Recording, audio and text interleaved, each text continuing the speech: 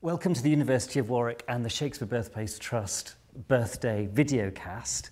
This year we're celebrating Actors Shakespeare. That is a book that several of us have been involved with called The Routledge Companion to Actors Shakespeare. The book has invited us to write as closely as possible about how certain actors make Shakespeare live in performance. And the actors we've covered are Simon Russell Beale, Harriet Walter, Rory Kinnear, and Judi Dench. And we're in the reading room of the Shakespeare Centre, which is open through the year to anyone who's interested uh, in Shakespeare of all ages. And we curate the archive of the Royal Shakespeare Company. And some of that archive is before us. It includes thousands of photographs of actors in performance. So first off for this research conversation, I'm joined by Carol Rutter, who's been working on Simon Russell Beale. Carol, my first question is, when you were asked to contribute an essay for actor Shakespeare. Why Simon Russell Beale? Well, it's, it's fascinating. When you're writing about performance, I think that one of the great challenges is to um, remember that thing that so captivated you about a performance that may have been 20 years ago. And for me, Simon Russell Beale was certainly one of those actors I remember seeing in his very first performance at the RSC when he was about 12 years old and playing the young shepherd in Terry Hands's Winter's Tale. Uh, and I remember the magic moment when the young shepherd is told to open the box that has come with the foundling baby. Uh, and he was facing the audience. He opened up this box. It shone gold into his face. his eyes exploded. And he had the wonderful line, You're a made old man. If the sins of your youth are forgiven you, you are well to live.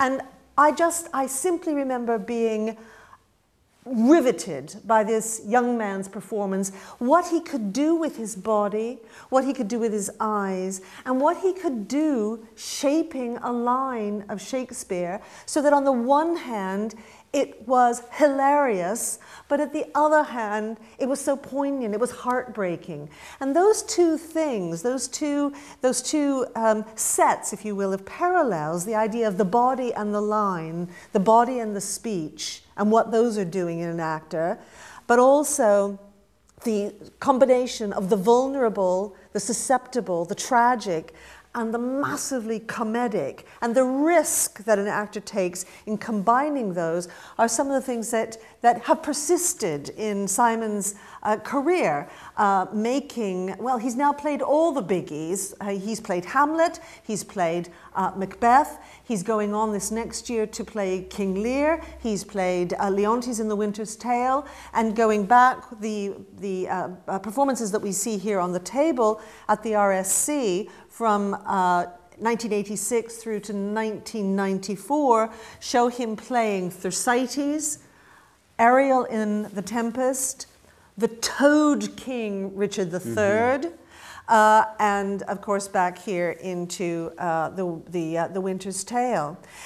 All of these are, it seems to me, documents of an actor taking risks that continue to exemplify. Here's his Thersites.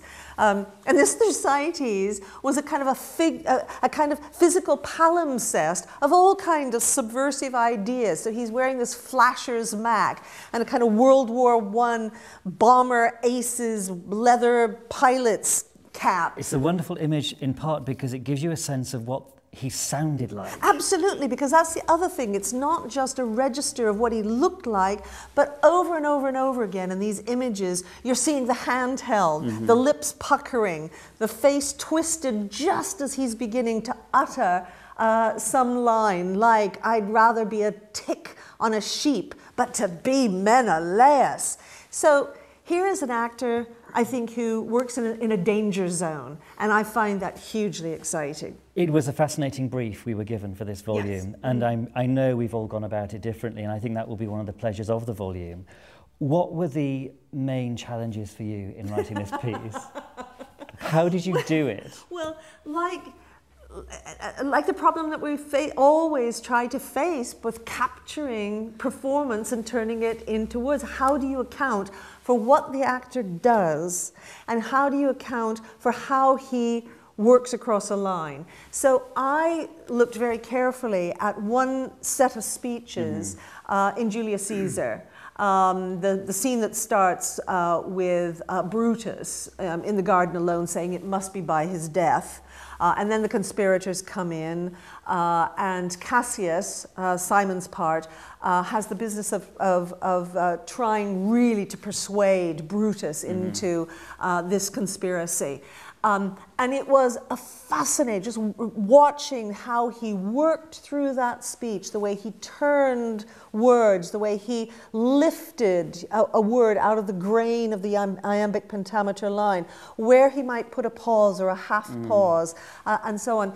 Um, the way he was so aware of the rhetorical structure mm. of this mm. persuasion um, that was both aggressive and self denying, reflective at the same time, that was, you realized uh, partway through, was, was, was not just a persuasion, it was actually a seduction mm-hmm. a, a, speech.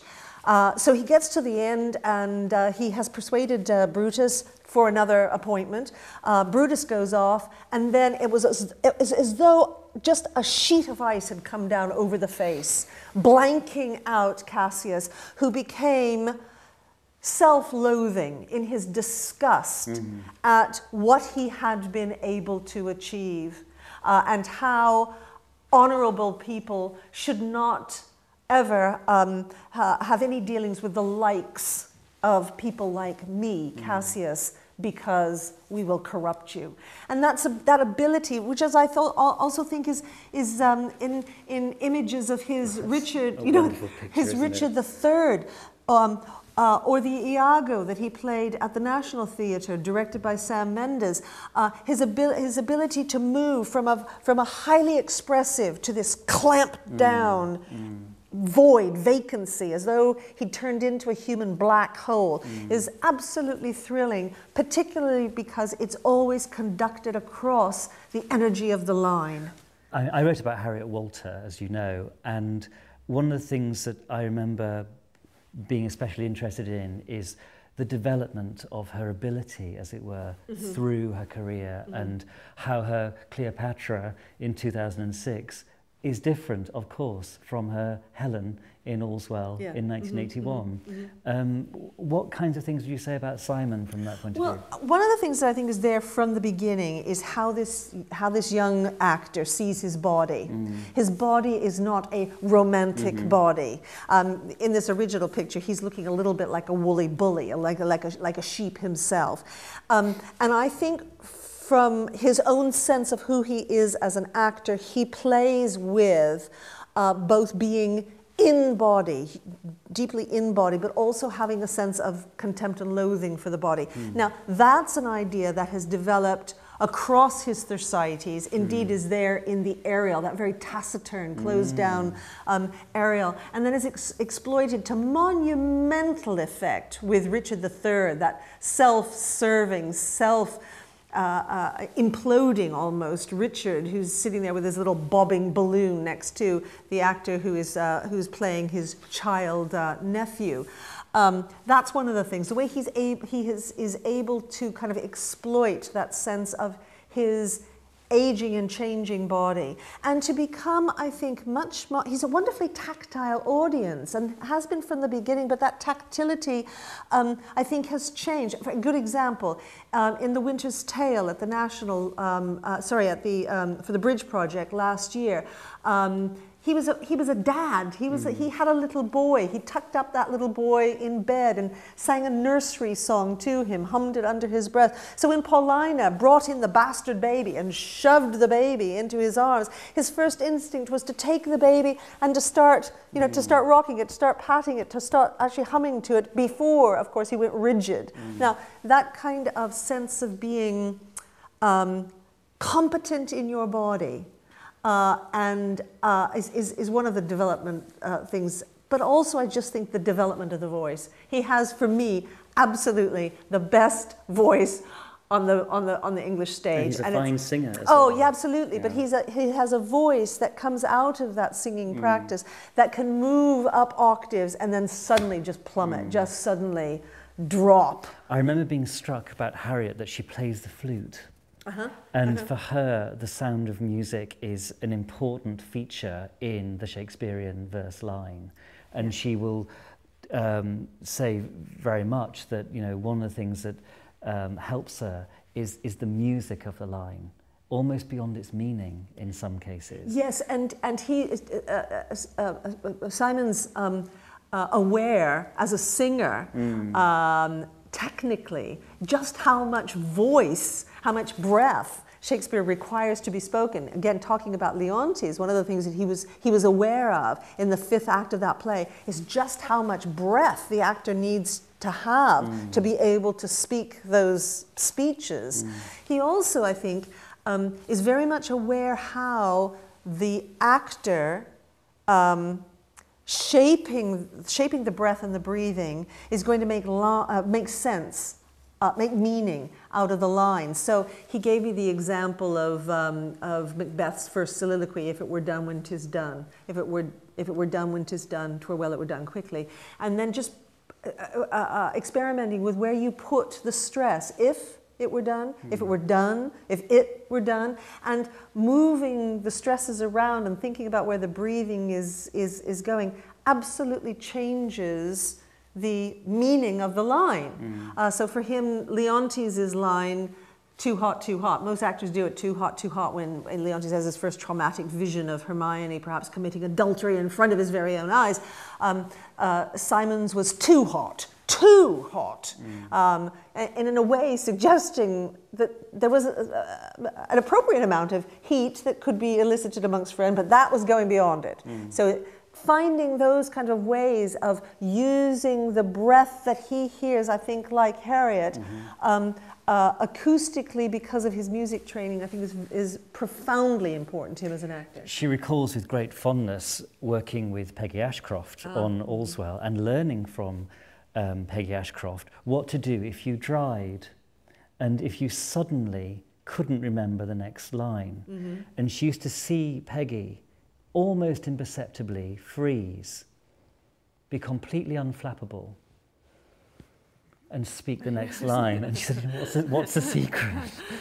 And uh, Dame Peggy uh, said to her, Well, you just hold in your head the sound of the music of the line and don't panic, and it will come back to you and you'll be right.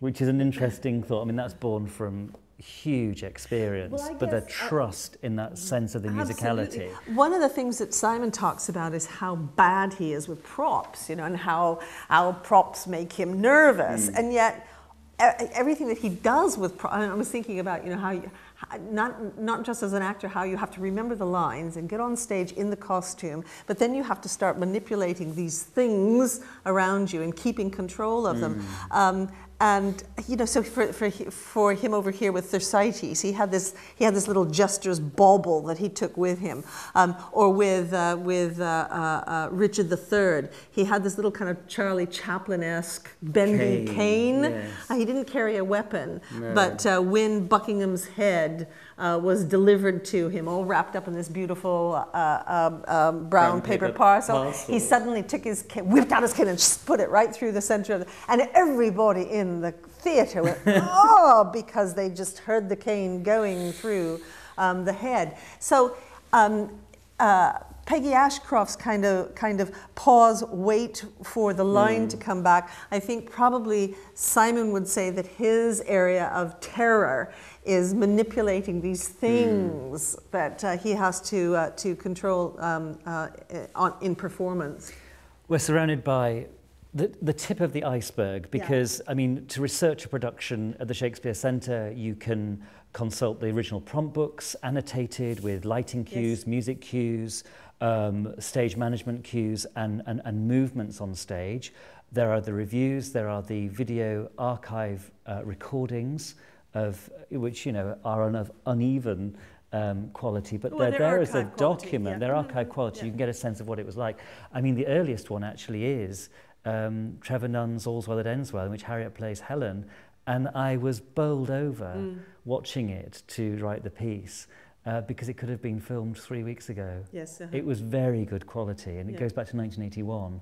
And in fact, the, the camera didn't seem too far from the stage, and the, you could see you could see what she was mm. doing and what she sounded Yeah, it's like. a particularly good record if you have all of the other materials Absolutely. to support it, yeah. and you have the best resource of this place, which are the human resources, somebody to go and ask you to, you know, to help you, Point uh, in the right direction. yeah, to decipher Yeah. what's going on in a particular bit of film, because yes. that's one of the great, the great uh, advantages of, of a library Mm. like this, an archive like this, is that there are people around Mm. informing uh, whatever I can do by their own memories and, and, and recollections and help. Mhm. In this day and age, though, Yeah. of going to the cinema and seeing a live broadcast from the National Theatre, from the Metropolitan Opera, New York, and we're taken closer to the action, close ups on stage, multi cameras, broadcasting the performance. What does that do to our understanding of live performance? What does that do to theatre history, would you say? I mean, in some Well- ways it's early days, we won't know, but it's a very different experience from watching an archive video and from looking at a, a, a, a whole crop of, of photographs in a prompt book, because you feel you're actually watching the show.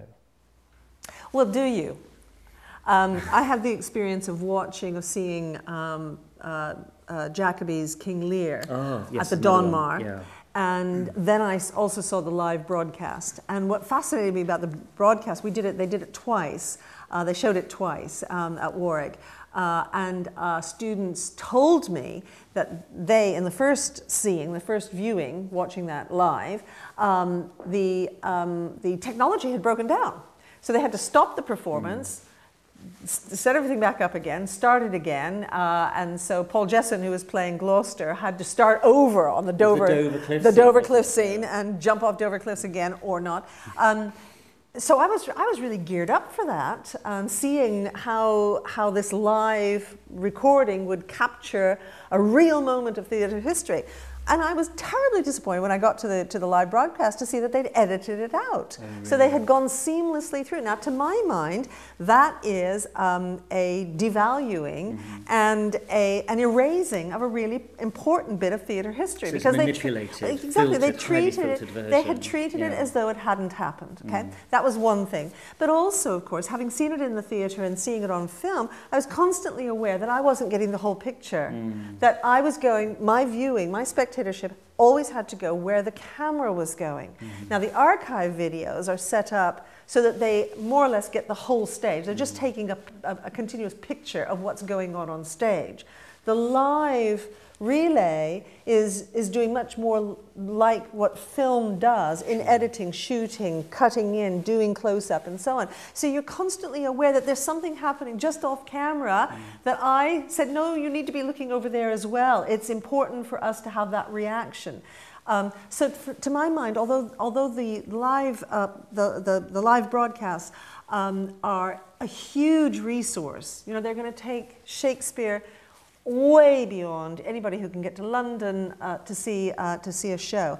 But they're not either going to replace the real thing, which is the, you know, having, having the smell of the theatre in your nostrils there in the flesh with the other people and knowing what the audience is doing. Because again, they don't capture that um, in the film. Uh, and it isn't also going to replace this still archive that stops me for a moment and allows me hmm. to go in close, to remember in detail, to stop, as it were, hmm. stop the performance for me to be uh, like it's, it's, it's a little bit like you know stopping the line of poetry for me just to be able to savor that one image to think about that one metaphor to work on that one idea that then helps me release the rest of the sonnet or the rest of the hmm. speech or indeed the rest of the play. So that's what these do. They very artificially stop the performance and give me time to go in deep and to think in a, in a, very, in a very deep structured sort of way. Um, and of course, they also just trigger memory. They trigger memory. I can, st- I mean, I can still see that on stage. I can see the next thing that's going to happen but this is my aid, literally my aid mm. memoir that, that puts me back into that production. And nothing is ever going to, to replace that. Carol, this is fascinating. Thank you so much. And I'm looking forward uh, later on to speaking uh, with Stanley Wells and Paul Prescott about Judi Dench and, and Rory Kinnear. And once again, happy birthday, Bill. Happy birthday. What a great way to celebrate, yeah. to think about the performances we've seen and the actors we've written about doing Shakespeare. Thank you.